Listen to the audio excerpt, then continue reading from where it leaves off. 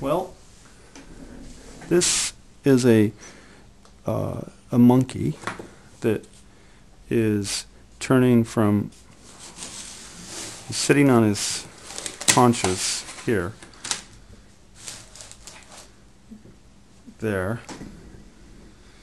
Uh, monkey on his haunches two eyes mouth uh, ear arm going down other arm going out tail coming out tail curls around this monkey jumps up into the air. All of his legs go up, and then he um,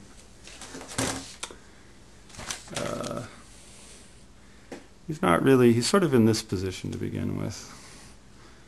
That's what uh, this is a flip side, flip side version of that, and um, he flips over. He jumps up in the air and, and is now in this position back here about in this part of the block. He's uh, he's right here, and then he actually jumps up, and this is him. This is his tail on the other side. So he's sort of gone from one side, flipped up, and landed, and his tail is on this side. He's blinking and doing all kinds of other things in here. And this is a um, uh, this is his tail, uh, his two legs, two eyes. His arm is coming up. This is sort of a transitionary position.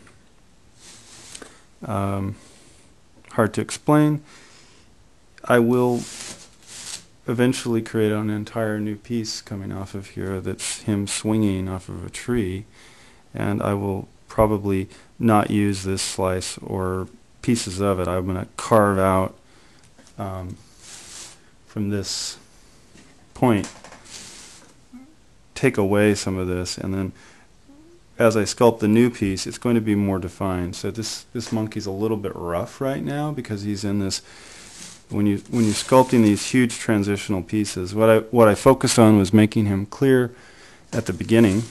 When you cut this slice he'll be clear. Uh, making him kind of make sense in the middle as a position where his two arms and legs are hanging down he's staring straight at us and then making him kind of clear here in the middle, it's a little bit transitional. His arms have to cross, one arm has to cross his legs. A lot of other things fly back and forth when his arms and his legs are changing shape. And the same is true here, and the same is true here. So there's sort of uh, position, transition, position, transition, position, transition. And this is the tail end of that transition. It's clear enough to understand he's a monkey, but it's not really precisely uh, art as much as you'd want it to be, or, or character, I should say. It's not character defined. So I will, I will, when I build the next piece off here, he'll be more character defined, and you'll see how his, um, oh, how his, uh, you'll you'll be able to work on making the position that comes here and does these other things merge into this transition. And so this, it, to sum up, doesn't have to be too precise, even though you should work as hard as you can to get there. It's a, there's a lot of motion going on and a lot of abstraction that'll make sense in motion, but is less clear in any one single frame. So this one single frame is a little bit rough. All right, it was built off of what I want to talk about our, our um, how I plan. Um, this is a this is something called uh, thumbnail, and I wanted you to see these the thumbnails that get built. That th this is the thumbnail that I built to um, help me pre-visualize what would be going on in in that block. This little section is the thumbnail of this. Basically, it's a head and a body. It's fairly. This is fairly crude. These other things are fairly complicated. Um, inside this section is um, this. Uh, it may be kind of hard to see, but that is actually the um, monkey's two eyes, his um, arm coming up. That's his ear, top of his head, and he's um, turning. He's jumping up here and turning around to the other side. Here's his other side. That's his tail. His head is missing, but that's his leg and his arm. It's all what I defined in here more clearly. Uh, this is the jump up part, the transition in the middle. You can see that jump up is actually this. And inside here, if you peel it away, are all the parts and pieces that I roughed out to decide where the leg, this is like really key, where the, the arm that's over here crosses uh, the leg that comes uncurled, and then um, how it finds a new position on the other side in this new position. So you can see that this thumbnail, if you peel away the layers of it, it contains the sort of beginning logic of geometry and where the pieces and parts of the arms that have to cross over and, and recross are. I know that it's kind of probably just a mush to look at, but if you sit there, you do. I'm doing a lot of thinking sometimes when I put this out. It doesn't take long to do. I do it in white because, hey, I can reuse the clay. It's also just cleaner on your hands. They don't get colored. Um, and you can kind of see it, or at least I can, in a more as just pure shape. Um, this is the transition of the monkey as it goes up into into this kind of a shape. And then this is the this is where it all started, which is this is a monkey swinging in the tree. But he's up. This is where I'm actually when I say started, I started at first, but I'm going to finish it last. This will be the part that attaches to the um, end here. It's built upside down. This is actually a complete reverse opposite of that. This is the arm upside down, uh, the head, the two legs. I didn't put the tail in. It's complicated. The more you put in, sometimes the harder it is to understand the thumbnail. So you just put in enough in the thumbnail to make sense to yourself. Uh, this is the face. Uh, the reason I built it upside down is that to have his legs swing, you have to imagine now, you have to flop this in your head. This is him hanging from the tree. So his arm is actually consistent. Um, let me grab that.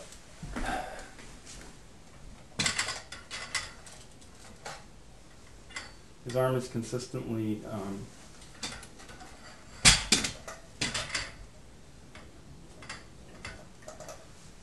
uh, sort of straight, running all the way through this uh, line because it's going to be attached to a tree. If you were to take a better look at this, um, this is the line of the arm running through uh, the center. Now, there is one moment where he flips his body and grabs with his other arm. His other arm comes up, one arm drops, and the other arm comes up. That's approximately uh, right here, um, where uh, these are his legs crisscrossing. You can see the leg, one leg is crossing over and the other leg is crossing over, much like a walk cycle. Only the, the, he's flying out. His whole body. Uh, it's based on this sketch. His whole body is being um, thrown from one side like this to the other and flipping over. So this is his back side and this is sort of his front side. And what I wanted him swinging, this is a great uh, sketch of, you know, the way the body's extended out. Um, and this helped me when I was sketching it to think about how I was going to do this. Um, this is built upside down. It will be flopped completely over in order for it to continue off the front of this block. Um, that's him upside down with his arm coming out. It's kind of like uh, uh, this sketch. See this sketch right there? where my thumb is. It's pretty much, there it is upside down. Let's see if that makes sense. No. This sketch right here and that upside down. Um, this is the tail coming. Oh no, this is this. This is the arm. Sorry about that. This is the arm from one side to the next. This is the arm that's grabbing, and then this is this is the arm that lets go. But it's been grabbing all the way from here to there. This would be the straight part of the arm under here. The pink is the supporting material. It would actually go away. I would take all this pink off, and that's actually the real character. The pink just keeps the character pink pink from falling over. So you have to sort of in your mind's eye imagine these parts dis have disappeared and they're not there. That actually is the arm all by itself down there. Um, yeah, so that's gone. This is the arm holding on and then it's letting go from here and this is the other arm swinging to catch it. So there will be a pull. There'll be a gap here where he's actually not hanging on at all, where he's holding, going from one um, arm to the other, and then it will catch on the other side and become this arm that's holding the. Uh, this arm is what's holding the pole. These pieces, of course, have to go away. They're just extra. That's there to keep it from falling over. Um, so that's the thumbnail of the, the uh, motion sculpture. Um, this is the thumbnail that began it. This, that represents this part of what actually you can see that it got a lot larger. Part of that is you're trying to put in definition and eye, um, you know, eyes, shapes, and other things that are much clearer. Um, so of course this part will be larger and longer too. It just the thumbnail is just like a sketch again. It helps you, you know, physically understand it. There's two other thumbnails I want to show. Um, one is the, uh, these will probably be a little clearer to understand. This is, um, this is a man opening a trap door and pulling himself up out of a uh, cellar. Imagine he's in the floor in a cellar and he's pulling himself up onto the first floor. Um, this is the this is the sketch of the action from the door. The door opens, two hands appear, and then it uh, flops the door. The, the two sides fly to the bottom. His head his eyes show up, his head shows up. He pulls himself up, out. He flips his legs up and over. And then he jumps up. And then he's going to go down, crouching, anticipating, then jump high as the door closes. And then he's going to come down to land. Not all of this is finished, but roughly this begins here with two closed doors. This is the trap door. It opens up, and inside you have um, you have a dark. This would be the part. This is the opening. This is the dark opening of the trap door. It flops over to the other side. You can see these. This piece is um, a piece of. Uh, it gets very very skinny as it becomes almost a line. This line now flops over to the other side, and then it becomes this is his head. Um, this is his arms coming out. And then he's uh, pulling himself up and out. A little clearer from this side. What I'm going to do is follow the shape of these lines and it'll help me understand how to extrude over time because it's a dimensional in a sense a dimensional thumbnail a series of keyframes dimensionally laid out this will help me actually understand where the flow of the head is and where the arms are, where things cross over. I'll have to look at it maybe this way and try to pre-visualize where where things cross over other things. Um, and there, therefore, what needs to be built first? Because you build the thing that's in the foreground obviously has to be built first, um, and then the parts that are behind it get built around it. So sometimes arms and legs disappear while other parts reappear. This will all help me conceive or conceptualize that. Here's his him growing out of the dark center of the pit. You know, his little legs down here. Um, he swings himself up. He hasn't actually sprung up, but what he'll do after this point is spring up. These doors will shut, close, and then he'll land straight up on top of all this.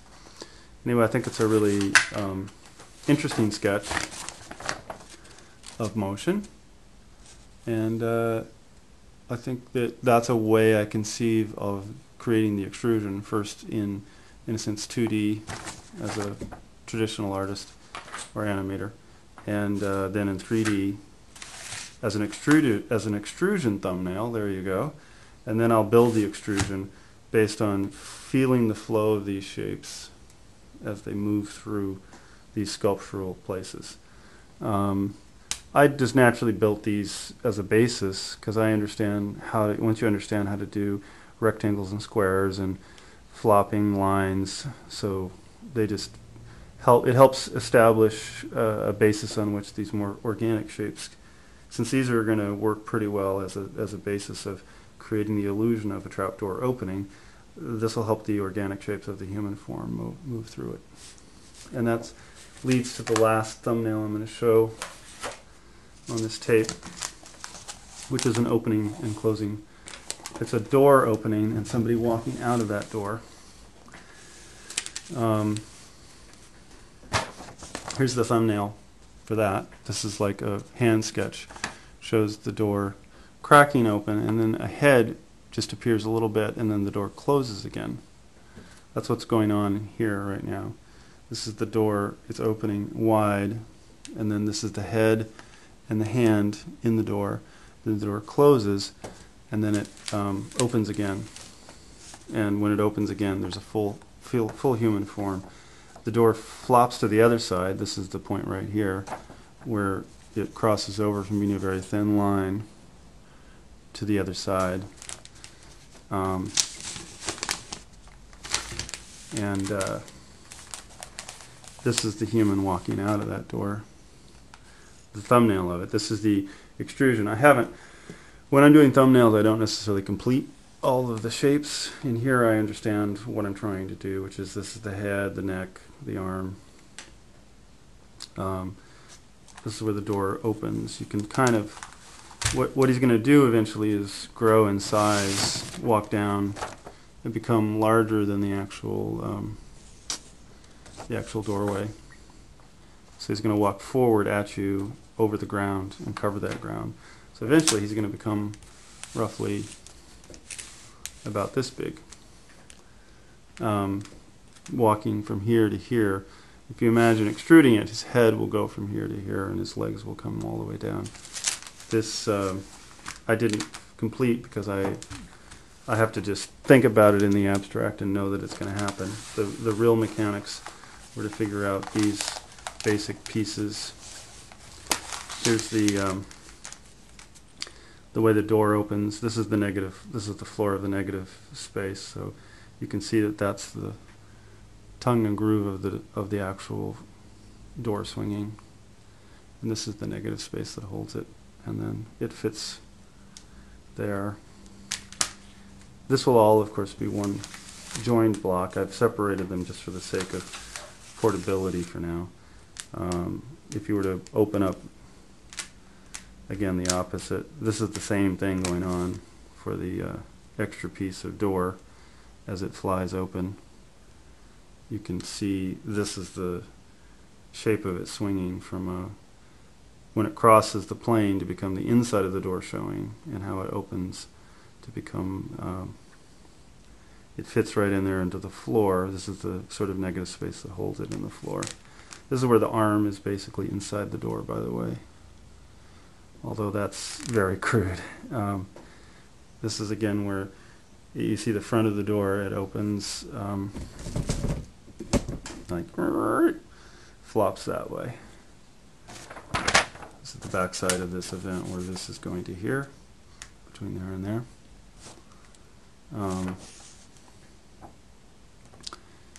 and uh, that's the thumbnail of a man opening a door, peeking out, closing the door, and then opening it again and walking out. This is uh, an, extru an extrusion sketch, and it allows me to pre-visualize certain things. So then I can focus more after I have this somewhat built and figured out in my head. I mean, I thought about it once, I've thought about it twice. And so on the third time, I can actually begin to um, focus on the details, which will be the face, the eyes, the head, and little details in the shapes, uh, and also the texture of the door, and make sure that the door texture is flowing coherently, so it really looks like a door when I build it. You know, if I'm to do wood grain or wood pattern or have a pattern, I can even put it like a pattern inside the door, like it's got some bevels and other things in it, perhaps. I have to have this thumbnail because then I can actually focus on what's inside each piece. It's almost like the next step is to then visualize the smaller parts that are inside each of these pieces. So having broken this down, I can start to break it down to the one more step because I know that these are going to be the general large shapes that are going to make it work. And I can, having this as a crutch in a sense, I can focus on the smaller pieces that now go inside each of these more general shapes, knowing that this is the flow and the coherent piece of the animation. This, of course, will grow in size a little bit or a lot. I, I try not to make things that are larger maybe than my hand because it's just hard to cut them up and it's a lot of it's very expensive on clay.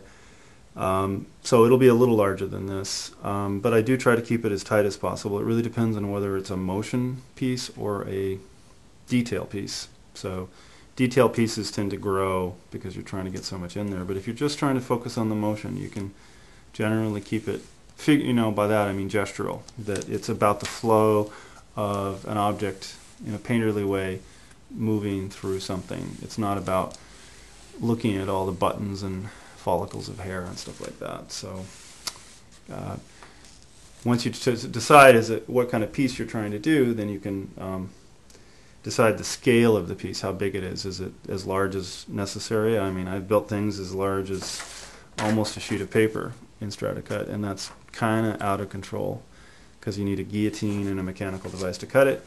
If I'm going to cut it up by hand, just about the size of my hand is about all I can control when I'm knifing it because it just gets to be too unwieldy. So when you see this, and I imagine this to grow in size, it's going to get maybe about twice as big at most by the time I'm done and the details are added about this big as my hand. And this is the thumbnail. It has guided me to be able to actually focus now on the details. Uh, once I know the general shape of the motion and what's going on, I can now um, not worry so much in as I'm just building a bunch of textures, I can throw them in there and know where they're really going to go and really pay a little more attention to the detail of it. And that's this, this lesson, thumbnails and how to create extrusion geometry in your brain, work with it this way so you don't actually have to um, use a computer or a stereolithography watertight model in order to get the dimensional um, extrusion result. Of course, I do that as well, but I don't do it for um, for analog Stratacut. I refuse to use a computer to pre-visualize because um, that would just be wrong. Uh, I figured it out in my head before there were computers, and I continue to choose to do that because I think it's part of the art of it. Um, if you want to use a computer, uh, for other things, I think that they're fabulous, and I am I, I do and I will and shall, and that's a completely separate form, CG Stratacut, than the analog form here, and has different feelings and techniques that go along with it, which aren't really useful for for the analog form, but are a different kind of vocabulary and a different territory to explore. I'm rambling. Um, hope you enjoyed the uh, the uh, thumbnail concept here, and this explains uh, sometimes how you can actually really make this stuff come to life for yourself in your mind and actually start to think in extruded time space before you actually have to commit all the extra extra energy to make the textures and to finish it. Good night.